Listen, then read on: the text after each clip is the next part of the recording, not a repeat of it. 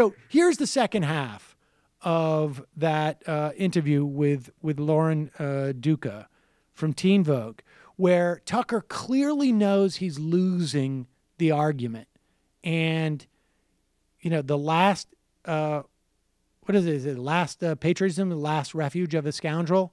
Yes. Well, uh, credentialism is the last refuge Of a a right wing uh, talk show host who realizes he's just lost um, not only the debate on intellectual terms, but in terms of just optics. So I guess the point I'm making is you're drawing this kind of world where everyone who's not on your side No. is evil and That's is, not what I said, put even it, remotely. fair game. That's well, not actually, what it is I what said. you said. Tucker, you said she's Tucker, fair that's game, not what even I though said. she smells good. Tucker, I did not say anybody who disagrees Well, what- with me is evil. Then I'm going to ask you again. What do you disagree with that she has said? What position that she holds do you disagree with? I disagree with her providing a surrogacy for her father based on an empowerment of women when that is an inherent disconnect between his Wait, so, campaign and so her beliefs. you agree with her, but because she supported her dad, she's I never- somehow I did not say I game. what are you precisely saying? align I'm, with I'm- her I'm, on- I'm trying to understand what you're saying. You're not, what that she believes, Tucker, don't you're you not trying to agree with what I'm saying. You're shouting over me every time I speak. It's it's incredibly unprofessional. I'm asking you a simple question. You're not. Which is, You're actually being a partisan game? hack who is just attacking me Oh, ad I'm being a nauseum and not even allowing me to speak. Well, let me Tucker, I think we agree here. I think we agree here, right? No, I don't think we do. We both agree Lauren. that she didn't I deserve think it's to be appalling attacked. that some guy yelled at her on an airplane, and you're And I saying said she's that no fair one- game. I very clearly and calmly said that no one deserves to be yelled at on a plane. I don't want to be yelled. I don't want to yell at you on a plane. I'll yell at you here, but You're saying on a that to me because I'm confronting you about it, but on Twitter, on your Twitter feed, where you scream "F you, Donald Trump," "Eat feces, Donald Trump," all this kind of. Feces?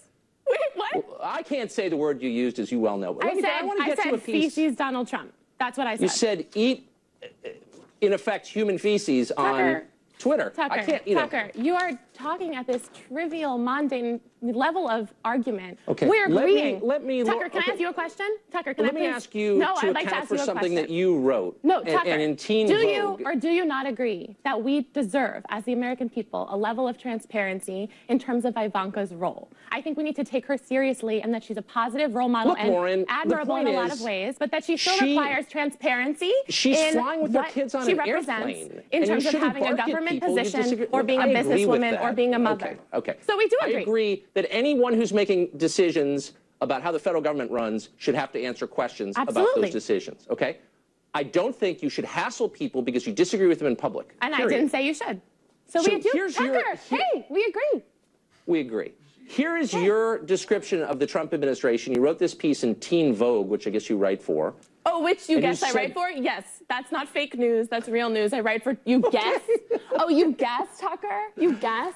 That's really Well, I haven't- patronizing. I haven't read Teen Vogue because I'm not a, a Teen Vogue well, you reader, have in front of you. your producers asked me if I wrote for Teen Vogue. You have my Teen Vogue article in front Here- of you. here's I'm, what my you- name here's is you- Duca, and I write for Teen wrote. Vogue. Well, got it. Here's what you wrote. Okay. The road ahead Now is a pause it. Now treacherous look at swamp. look at look at. That he's getting amazing. he is getting he's he's turning red because he thought he could get away with this. I guess you write for Teen Vogue. Like like she just just appeared.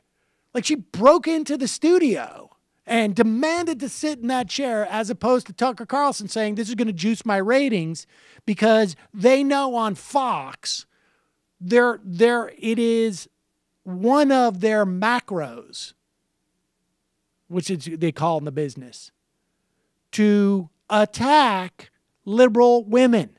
It's literally one of their macros. There's nothing the Fox News viewer likes more than one of their male hosts in particular attacking liberal women. And just what they're not used to is someone, and frankly, you know, I'm I'm sort of shocked because I I do uh, I have on occasion I should say do media training for people and she's just pulling him apart in a way that like you don't see people pull other people apart on TV. Continue. Getting cucked. There are unprecedented amounts of ugliness to untangle from deciding whether our president can be an admitted sexual predator to figuring out how to stop him from threatening the sovereignty of an entire religion. Yes. What does it mean to threaten the sovereignty of religion? What does that even mean? That means an entire agenda, a platform of based on banning Muslims, which is still available on his website. How does that threaten the sovereignty of religion? That's moronic, Lauren. You're a writer. How does that threaten the sovereignty of it? Pardon me for What- taking your words does, literally. Sorry, how does what threaten the sovereignty of it? Threatening to ban How does any- Muslims? that threatens the sovereignty of it? Yes, that completely that that profiles based on the basis of religion and reduces people to their beliefs and dictates what they can and cannot publicly Uh, believe. That doesn't threaten the sovereignty of it. Um, so you, you also Right. accused him on Chelsea Handler's pause show it, of pause quote, it. Now, now here, what's awesome about this, okay, is that you literally have um, Tucker on Fox News trying to argue the semantic use of sovereignty. Okay, I mean that's it. That's what his argument is. Yes. But what he doesn't realize is that her use of it is accurate and just more sophisticated than he is. So he has entered into basically the deep end of the pool where none of his viewers can go anyways and getting drowned. Because she just there quite clearly made it clear if you do not allow people to own their own religion because you're going to ban them if they're not if they're of that religion you are threatening the sovereignty of their ownership of that religion or, I should say their ability to own that religion Good. committing a form of psychological abuse that makes the victim feel like they're crazy. Does Trump make you feel like you're crazy? That's the impression I'm getting. oh my God, are you calling me crazy? That's I'm, adorable. I'm asking That's you. You said so on Chelsea. Handler he's committing psychological abuse on you. Uh, you believe that? on the American people. I believe the American people, Trump supporters, Hillary supporters, Jill Stein and her cousin, are in a victim of Trump's gaslighting. What I mean by that is that he frequently contradicts objective evidence, not that he is Oh. abusing me personally. And I think you're smart enough to know that, aren't you, Tucker? I don't know. I just take your words at face value. So did you read the entire article? Psychological. I- I did. I also read Liam Payne is 100% certain One Direction will continue. Ariana Yes. Grande rocked the most epic thigh-high boots at Yeah. Jingle Bell, and So, Black team, China and it's Rob Kardashian went through the messiest breakup of 2016. Those are your other pieces. But I'm trying to get to what you're writing about Trump I taking a break from the thigh-high boots and ask what you mean about him committing psychological See abuse See- on you. No, pa- pause it. Pause it. Pause it. Now, look, this is Donald Trump.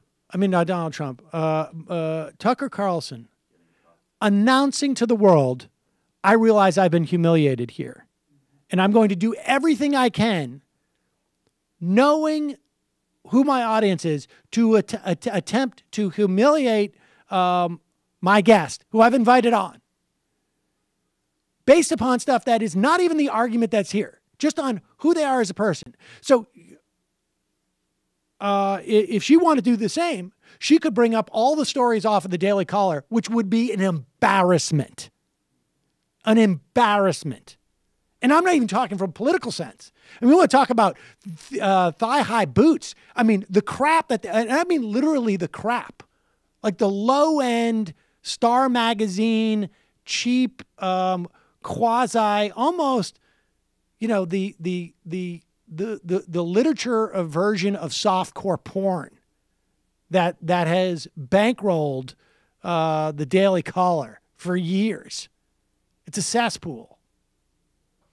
And for this guy to be bringing up like, you can't, you, you've just taken me to school, you've just drowned me in the deep end, but we should all know that it wasn't real because you wrote something about knee high boots or whatever it is. Continue. Love Ariana Grande and her thigh-high boots, and still I'm just letting you know that I read you in Teen. Vogue I, as of today. And there, those things are not mutually exclusive. You know, it's it, now that you bring up Teen Vogue, we, we, we treat young women like they don't have a right to a political To a bunch of, like, conversation, and like you can't be, you know, enjoy Kylie Jenner's doesn't even mean Instagram and worry about the future of this country. And those things are not mutually exclusive. So you know what? I did write about Ariana Grande, and I did write uh-huh. about the abusive, bigoted. Those pieces were a little smarter than your piece about threatening the, United sovereignty States. of a whole religion. All right, I got to go. You should stick to the thigh high boots. You're better.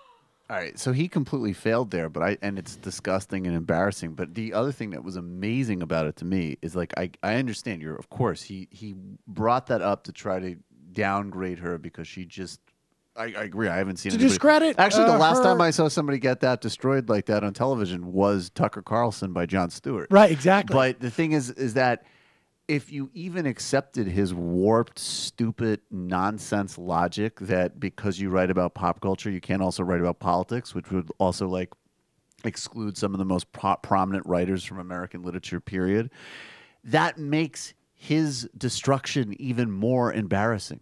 He just said, You're an idiot. No one should take what you said seriously as a like post game to her completely right destroying now, him. on the Daily Caller. Burn it. 15 photos of women not wearing bras.